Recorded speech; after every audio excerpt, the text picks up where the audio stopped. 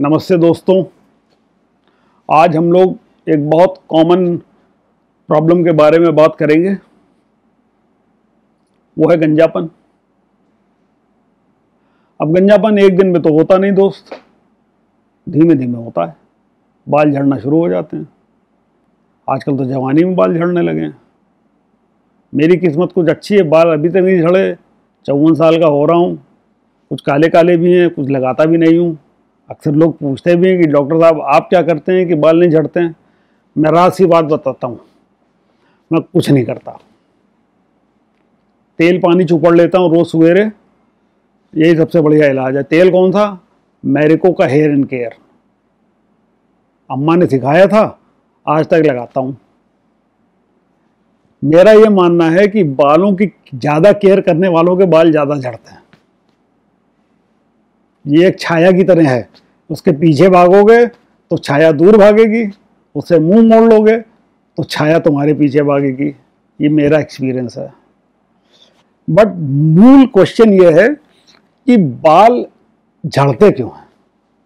अच्छा इसमें दो बातें हैं। एक होती है एनाजेनिक हेयर लॉस और एक होता है टेलोजेनिक हेयर लॉस देखिए एनाजेनिक हेयर लॉस का मतलब होता है कि बाल ग्रोइंग फ़ेज़ में झड़ने लग जाए। ऐसा तब होता है जब कोई इलाज चल रहा हो, जैसे कि कीमोथेरेपी चल रही हो। उसको एनाजेनिक हेयर लॉस कहते हैं। बाल ग्रो होते ही झड़ने लग जाते हैं।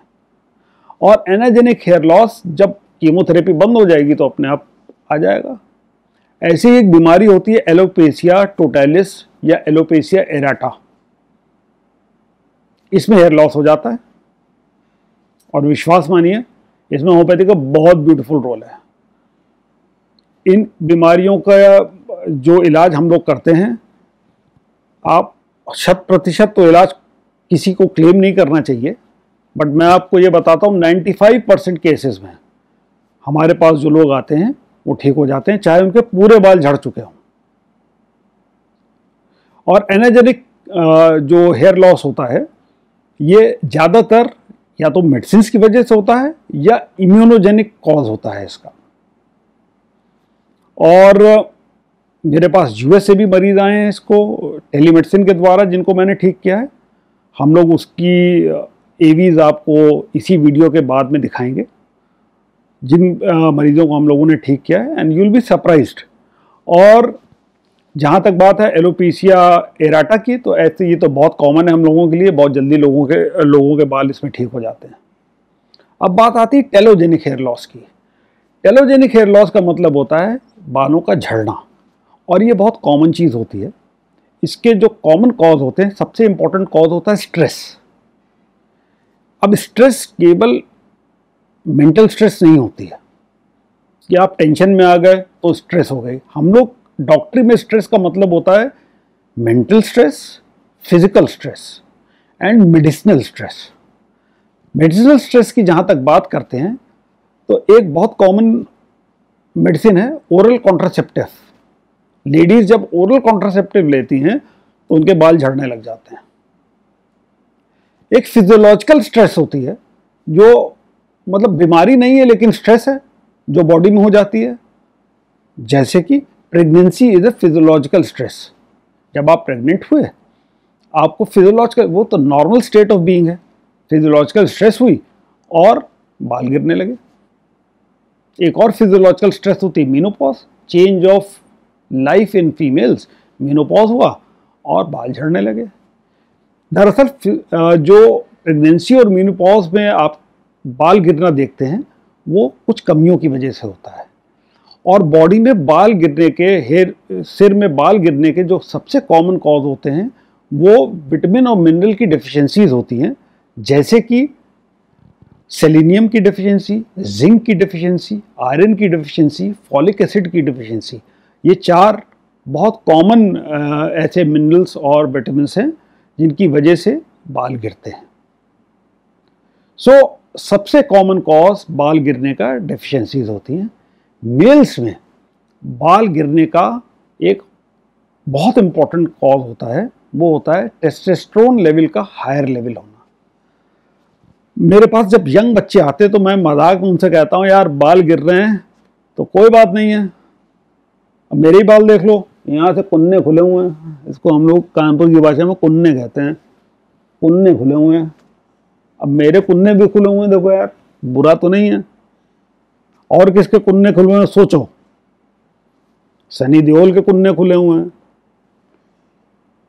संजय दत्त के कुन्ने खुले हुए हैं। सलमान खान के कुन्ने खुले हुए हैं। आर्नॉल्ड श्वाजनेगर के कुन्ने खुले हुए हैं। और कुन्ने किसके खुले हुए हैं? जो रॉकी बनता है, उसके कुन्ने खुले हुए हैं। यानी कि जितने सो कॉल्ड सुपर मेल हैं, सबके कुन्ने खुले हुए हैं। यानी कि अगर आपके अंदर अच्छा टेस्टेस्ट्रोन लेवल है, आपके अंदर मेलनेस ज़्यादा है तो आपके कुन्ने खुले होंगे। इसीलिए जब बाल को खींच करके बनाएँगे, जिसको आज पुराने ज़माने में, हमारे ज़माने में इटालियन लुक कहा जाता था तो ये खुला होगा। ये मेल पावर की पहचान होती है, ऐसे लोगों को यूरोप में और वेस्ट में स्टड्स कहा जाता है, घोड़े। उनमें काम करने की भी कैपेसिटी ज़्यादा होती है, उनमें सेक्सुअल पावर भी ज़्यादा होती है। तो बुरा क्या यार?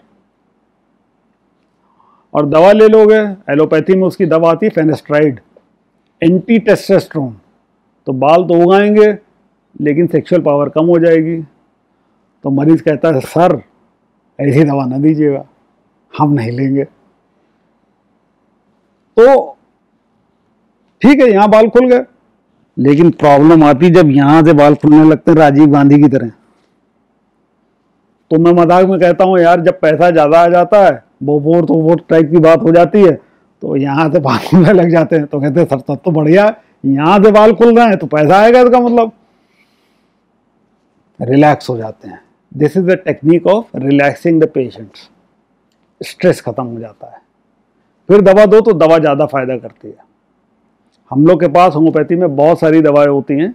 अगर यंग अडल्ट बॉल्ड हो रहा है, यानी कि गंजा हो रहा है, और बॉल्डनेस की ग्रेड्स होती है grade one grade two grade three grade four grade four baldness को कोई भी दवा ठीक नहीं कर सकती।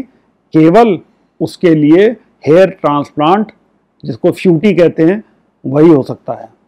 Grade one grade two grade three A तक होम्योपैथी बहुत बढ़िया काम करती है। और जो मेन दवाएँ इसमें काम करती हैं, वो है लाइकोपोडियम मैं बॉल्डनेस की बात कर रहा हूँ नॉर्मल हेयर फॉल की बात नहीं कर रहा हूँ। बॉल्डनेस का मतलब लड़कों में यहाँ से बाल जाने लगना और यहाँ से बाल जाने लगना। इसमें जो दवाएँ काम करती हैं, वो होती हैं लाइकोपोडियम और ब्रियाटा कार्प सबसे बढ़िया काम करती हैं। और भी दवाएँ हैं जो काम करती हैं बट मैं दो मेन इंपॉर्टेंट दवा बता रहा हूँ। लड़कियों में जो बाल बॉल्डनेस शुरू होती है, वो पार्टिंग के पास से शुरू होती है और तब जाकर के पीछे से बाल जाने शुरू होते हैं। ये या तो डिलीवरी के बाद शुरू होता है या मीनोपॉज के आसपास शुरू होता है, ज़्यादातर लेडीज़ में, जब तक कि कोई लोकल इन्फेक्शन ना हो। तो ऐसे में जो दवा काम करती हैं, वो नेट्रम्यूर और सीपिया और सेलिनियम ज़्यादा काम करती हैं। अगेन, ये डॉक्टर को चूज़ करना पड़ता है कि क्या सही दवा पेशेंट को काम करेगी। एक और रीज़न होता है हेयर लॉस का वो रीज़न होता है लोकल इन्फेक्शन हो जाना, जैसे कि सीबोरिक डर्मेटाइटिस या सोराइसिस लोकलाइज सोराइसिस।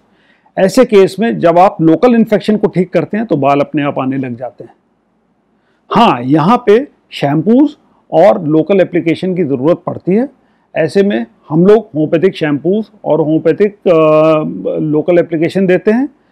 कभी कभी जब डिज़ीज़ ज़्यादा बड़ा होता है तो हम अपनी वाइफ डॉक्टर प्राची जो कि कॉस्मेटिक डर्मेटोलॉजिस्ट हैं उनको रेफ़र कर देते हैं और लोकल ट्रीटमेंट वो करती हैं और इंटरनल ट्रीटमेंट हम होम्योपैथी से करते हैं और एक कम्बाइंड ट्रीटमेंट करने से हमको ज़्यादा अच्छा रिज़ल्ट देखने को मिलता है। सो so, ये कॉम्प्रिहेंसिव मैंने आपको हेयर लॉस के बारे में बताया और उसके ट्रीटमेंट के बारे में भी बताया। कुछ दवाएँ भी बताई। कम उम्र में अगर बाल गिरने लगें और आप बाल को जल्दी उगाना चाहें तो दो तीन दवाएँ ऐसी भी हैं जो कि बहुत अच्छा काम करती हैं जो मैं ऑफ़ द हैंड आपको बता सकता हूँ। एक है सेलिनियम और एक है थैलियम ये दो दवाएँ बहुत बढ़िया काम करती हैं।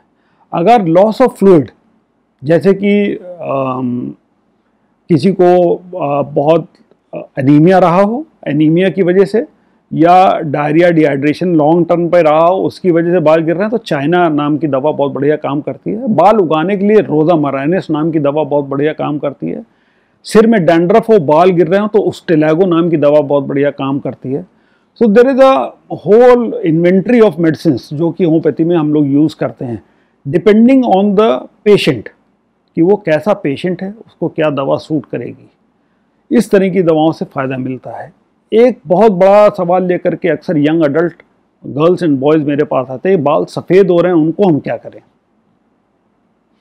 बाल सफ़ेद हो गए तो काले नहीं होते हैं। सत्ताईस साल की प्रैक्टिस में दो ही लोगों के बाल काले होते हुए देखे मैंने, और उनके लिए जो दवा काम करी वो थी विजबाइडन विजबाइडन एक लेक है जो कि यूरोप में है, उसके पानी की पोटेंसाइज करके ये दवा बनी है। पर सत्ताईस साल में जैसा कि मैंने कहा कि केवल दो लोगों को मैंने उससे फ़ायदा आते देखा। अदरवाइज़ सफ़ेद बालों को दवाओं से मैं रोक तो सकता हूँ बट सफ़ेद बालों को काला होते हुए मैंने कभी भी होम्योपैथी से दो केसेस के अलावा नहीं देखा। ये सत्य है और मैं सत्य ही बताता हूँ। और अगर आपको सत्य बातें ही सुननी है इस चैनल में तो डॉक्टर निगम होम्योपैथी को लाइक करें सब्सक्राइब करें और शेयर करें और बेल आइकन को प्रेस करना बिल्कुल मत भूलें। Thank you.